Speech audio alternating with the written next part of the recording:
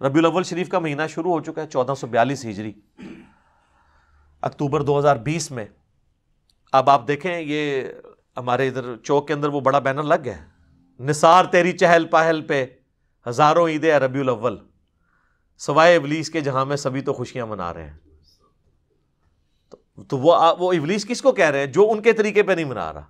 उनसे पूछे ये आपका तरीका कब शुरू है? तो वाला हज़रत ही बताते हैं कि रसूलुल्लाह की वफात के 800 साल बाद नबील इस्लाम का तो तरीका यह था जो सही मुस्लिम में है कि आप पीर का रोज़ा रखा करते थे। पूछा गया, क्यों रखते हैं? फरमाया फ़ी ही वलिद तो फ़ी ही उन जिला अलैया, इस दिन में पैदा हुआ, इस दिन मुझ पर पहली वही नाजिल हुई। और ये पूरी दुनिया का राशन इकट्ठा करके खा रहे होते हैं, रोज़े की बजाय। और उसको नाम दिया होता है इन्होंने ईद का। और फिर जब पूछे, कहते हैं, जी ईद वाले दिन तो तुम पता रोज़ा नहीं होता तो ये तुम मनु पे दसते हो? मैं तो तुम नबी इस्लाम का फरमान दसदा पाया वहाँ कि आपने अपनी खुशी जड़ी है, कुरान की खुशी और अपनी पैदाइश की खुशी। फ़ी ही वलिद तो फ़ी ही उन ज़िला अलैया। इस दिन मैं पैदा हुआ, इस दिन मुझ पर पहली वही नाजिल हुई। जश्न कुरान और जश्न मिलाद तो रसूलुल्लाह ने सल्लल्लाहु अलैहि वसल्लम रोज़ा रख के मनाया। और आप जो है वो राशन के ज़रिए मनाते हैं और वो भी लोगों से हथिया के। इधर तो आपको आइडिया नहीं है, पिंडी में आप चले जाए, गाड़ी के आगे आपके आगे खड़े हो जाते हैं। जब तक आप कुछ ना दें, वो आपकी गाड़ी को आगे नहीं जाने देते। ये नबी इस्लाम ने अपने साहबा की ये तरबियत की थी कि इस तरीके से मिलाद बनाना है। अब इन्होंने दीन के तौर पे अडॉप्ट किया हुआ है। और फिर कहते हैं, देखें ना जी, दो घर हैं। एक के अंदर मिलाद हो रहा है कि नहीं हो रहा तो ज़ाहिर है कि जो कर रहा है, उसी को खुशी है, जो नहीं कर रहा है, उसको नहीं खुशी। तो सर, फिर इसकी हमने दवाई इनको दी है ना कि सर रबी अव्वल में तो यही केस है, लेकिन रबी अव्वल से दो महीने पहले मुहर्रम भी गुजरा है। दो घर थे। एक घर के अंदर मातम हो रहा था और आहो बुका था, नोहा हो रहा था, दूसरे घर के अंदर जो है वो टीवी भी चल रहा था। ये वाला घर शिया का था, ये बरेलवियों का था। तो आप बताओ कि मोहब्बत अल बैत किसमें है? जिस घर में नोहा हो रहा है और लोग रो रहे हैं। हज़रत हुसैन इस्लाम को याद करके या उस घर में कि जहाँ पे ना कोई नोहा है तो क्या कहेंगे कि जी, इस तरह के तरीके से तो नहीं मुहर्रम बनाना होता ना। तो उस तरह के तरीके पे विलाद भी नहीं बनाना होता। आप वैसे कंट्रोल इन्वायरमेंट में प्रोग्राम करें, मुहर्रम में भी करें मिलाद में भी करें, जलसे करें, सीरत के ऊपर, सूरत के ऊपर, मिलाद के ऊपर हम भी करते हैं प्रोग्राम लेकिन ये जो आपने बाकी एक्टिविटीज़ फिर इसको दुनियावी बर्थडे के साथ रिलेट करके और ये सारी की सारी एक्टिविटीज़ इसी तरीके से ग्यारहवीं शुरू की हुई है। अभी तो ग्यारहवीं का महीना आना है। अगला महीना जो है वो ग्यारहवीं का आ जाना है। उसके बाद फिर महीना आ जाता है जनाब मेराजुल नबी का। तो ये पूरा साल ही मामला चलते रहते हैं। एक्टिविटीज़ रहती हैं, पूरा साल रहती है। तो एक्टिविटीज़ के अंदर पूरे के पूरे दीन को डाल देना और दीन की असल से आप रूगरदानी कर लें। आप ये शिया की भी आप मसाजिद के बाहर से गुजरें तो आपको हर तीसरे दिन कोई ना कोई देख खड़कती हुई सुनाई देगी और बार इतनी मुश्किल उर्दू के अंदर जो है वो ऐसे ऐसे अल्फाज लिखे हुए होंगे कि बंदा कहता है, ये पता नहीं यार कौन सा दीन का ठीक है? तो वो वो लिखा होता है वो, बेशीर का मातम, है जी? नहीं नहीं, बेशीर वो, यानी वो छोटा बच्चा जो है ना उम्मे बेशीर का मातम। यानी वो ऐसा बच्चा जो पैदा होने से पहले, दूध पीने से पहले मर गया, उसकी माँ का मातम। यानी सईदा फातिमा की तरफ़ वो मंसूब करते हैं। इतने मुश्किल मुश्किल अल्फाज लिखे हुए होते हैं, और वो ख़त्म ही नहीं होते, पूरा साल इस तरह के मामला चलते रहते हैं। लेकिन आप कहें कि नमाज़ पढ़ लें या बाकी दीन को प्रैक्टिस कर लें तो नहीं सर, वो तो बहुत मुश्किल काम है। वो तो आप छोड़ दें। तो दीन का बिल्कुल जनाजा निकाल के रख दिया इन एक्टिविटीज़ ने। इन एक्टिविटीज़ का दीन के साथ कोई ताल्लुक नहीं है। हम तो सिर्फ़ आपको समझा रहे हैं कि मरने से पहले ए मुसलमान, कर ले इस पर गौर किताबों का खुदा और है, बाबों का खुदा और। मेरा ख्याल अब आपको यकीन आ गया होगा कि वाकई बाबों का खुदा कोई और ही है। अगरचे वो इसी खुदा को मानते हैं, लेकिन उन क्वालिटीज़ के साथ नहीं। कहने को तो दी सबका, इस्लाम है लेकिन, किताबों का जहाँ और है, बाबों का जहाँ और। ये किताबों का जो जहाँ है ना जी, ये वो है जो आसमान से दीन नाजिल हुआ है। और बाबों का जो जहाँ है, वो इधर से ही खुद ही इन्होंने अपना जहाँ बनाया हुआ है, इसलिए वो वकरा जहाँ है। ठीक है ना जी? तो उसका एक अपना ही जहाँ होता है, वो कहते हैं उसका अपना एक जहाँ होता है और वकरा जहाँ होता है। तो सर आप देख लें, फिर वकरे जहाँ का क्या रिज़ल्ट निकल रहा है। ठीक हो गया जी? ये सारी बातें आप अल्लाह और उसके रसूल को जाके बताएँ कि जिन्होंने इन चीज़ों को मशरू नहीं फरमाया। वरना तो हम कहेंगे कि बुखारी और मुस्लिम में हदीस है कि अजान की आवाज़ सुन के शैतान जो है भाग जाता है। तो क्या तकलीफ़ है कि ईदैन की अजानें ना दी जाएँ? कि बाद लोगों ने तो पढ़नी सिर्फ़ ईद की नमाज़ होती है। तो क्या ख्याल है? शुरू ना करवा दें अजान। शैतान को भी भगाएँ। तो हमें क्या कहा जाएगा कि रसुल्ला ने नहीं दी? साबित नहीं। उस साबित को छोड़ो यार। हलाल काम है क्यों ना करें? फिर आपको हमारे वाली डेफिनेशन माननी पड़ेगी। जनाजे की अजान क्यों ना दें? अच्छा इसमें उन्होंने एक एक्सक्यूज निकाला। जी जनाजे की जान जो है ना जी, वो जब बच्चा पैदा होता है ना, जो जान दी जाती है ना, वो उस वक्त हो जाती है। कोलो ही गल बना ली कहानी बनाई हुई है। ठीक है जी। तो जितनी मर्ज़ी कहानियाँ बनाए, कहानियाँ बनाते जाए। इस तरह की एक्टिविटीज़ को नबी इस्लाम ने एक जुमले से ही ख़त्म कर दिया सही मुस्लिम में हदीस है 2005 इमाम बाकर इस्लाम जो इमाम जैनआबदीन के बेटे हैं और मौला हुसैन के पोते हैं उन्होंने उन्होंने रवायत किया जाब बिन अब्दुल्ला से और इमाम बाकिर से उनका बेटा इमाम जाफ़र रवायत करते हैं।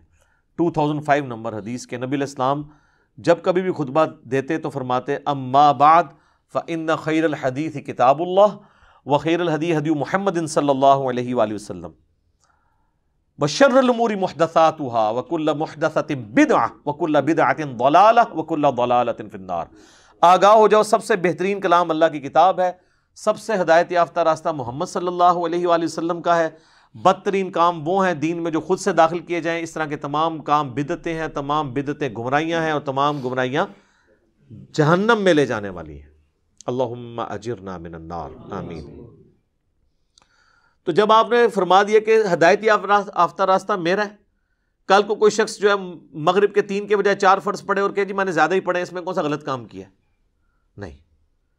नबी इस्लाम के बताए हुए में आपने खुद से चीज़ें नहीं ऐड करनी। बुखारी और मुस्लिम दोनों में हदीस है मन अहदफी अमरीना हाजा जिसने हमारे तालीम की हुई दीन में कोई चीज़ दाखिल की फहुआ रद्दुन तो मरदूद है। हाँ, दीन असल अपनी जगह पे मौजूद रहे, आप उसको फैसिलिटेट करें तो आपको सवाब मिलेगा। वो सही मुस्लिम हदीस है, जिसने दीन में, इस्लाम में अच्छा तरीका जारी किया, जितने लोग अमल करेंगे उसका सवाब उसे मिलेगा, और जिसने अमल किया उसके सवाब में भी कमी नहीं होगी, और जिसने जारी किया था उसको सबका कंबाइंड सवाब मिलेगा, और जिसने बुरा तरीका जारी किया, तमाम का बबाल उस पर होगा, और वो जो खुद कर रहे होंगे, उनके बबाल में भी कमी नहीं होगी। उसमें अल्फाज है सुन्नतन हसनतन। या हालत रफा में पढ़े, सुन्नतुन हसनतुन और सुन्नतुन सय्यतुन अच्छा तरीका और बुरा तरीका। अच्छी बिदत और बुरी बिदत नहीं। और ये हदीस भी आदि बयान करते हैं। ये पूरी हदीस तो ये है, नबी इस्लाम के पास कुछ न्यू मुस्लिम वो बड़े गरीब थे। आपके चेहरे मुबारक पे आसार आ गए परेशानी के।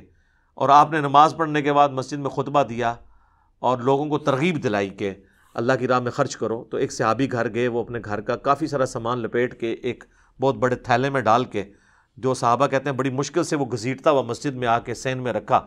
उसको देखा, देखी, लोग बाकी भी ले आए और हजूर इस्लाम का चेहरा मुबारक खुशी से दमक उठा, जैसा कि सोना चमक रहा होता है।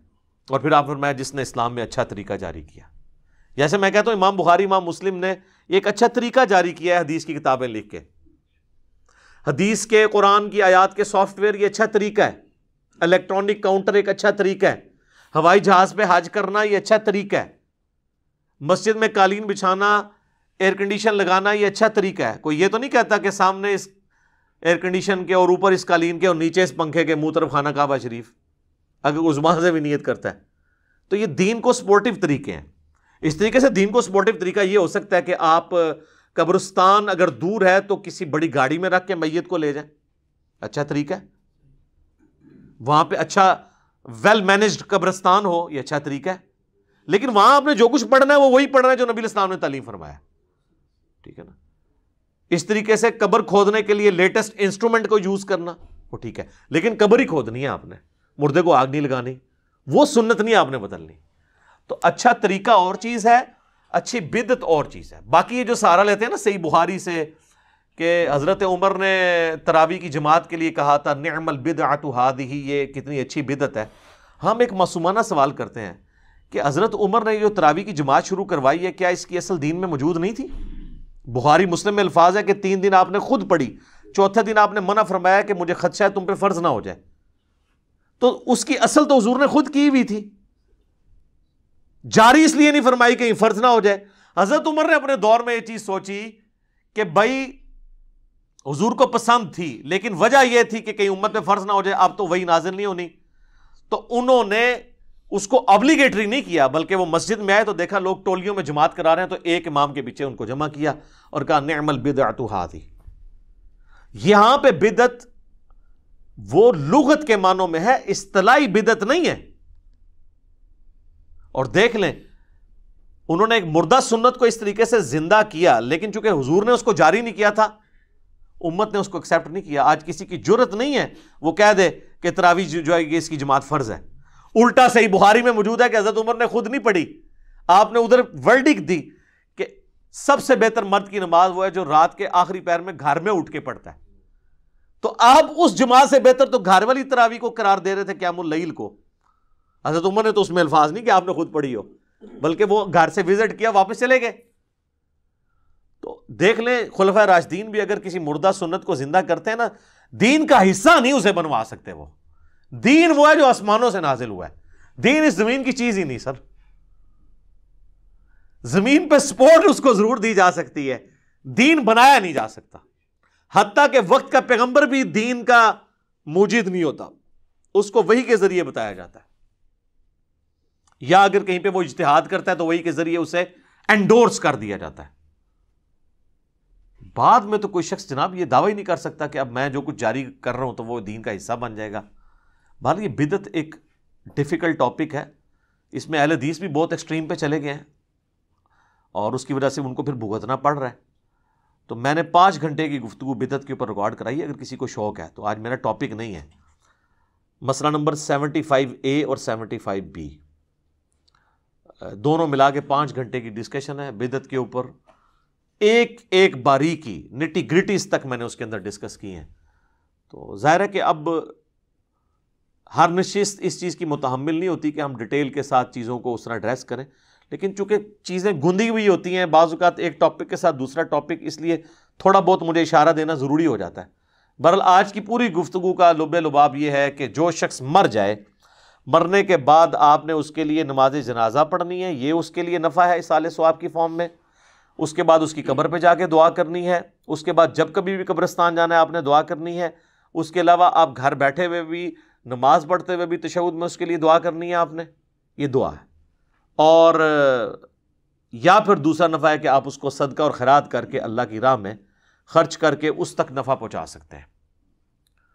ये दो ज़रिए हैं जो आपकी तरफ़ से उस तक पहुँच सकते हैं। बाकी ये कुरान पढ़ के बख्शना और इस तरीके से पहुंचाना, इसकी कोई असल मौजूद नहीं है।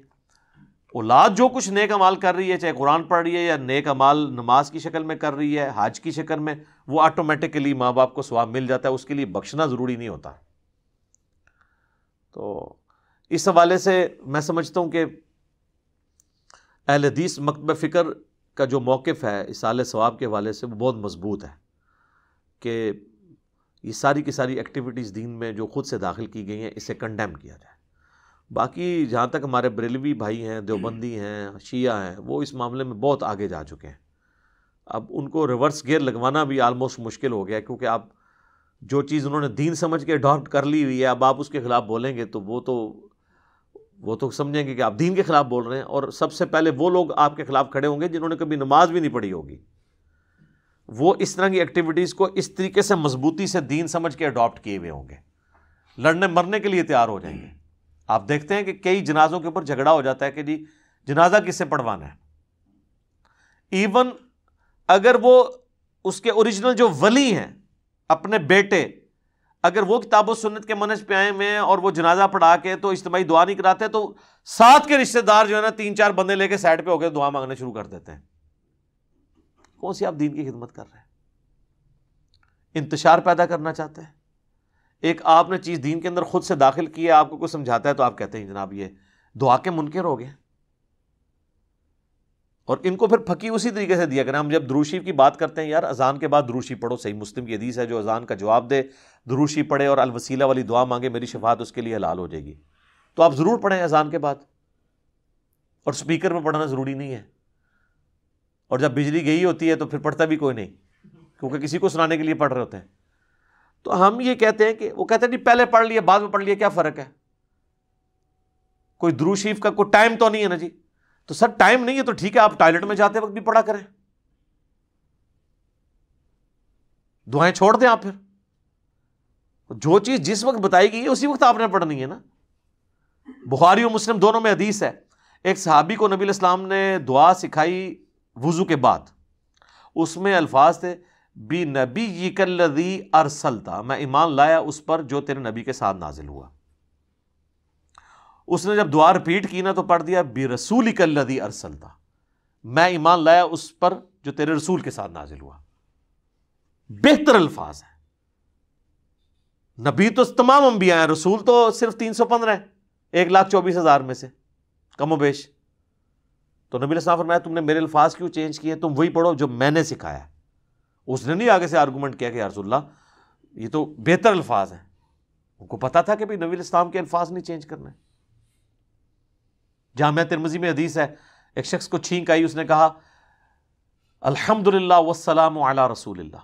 तो अब्दुल्ला बिन उमर ने कहा, मैं भी कायल हूँ, अल्हम्दुलिल्लाह वस्सलाम अला रसूलिल्लाह, कहने का। लेकिन इस मौके पे नहीं।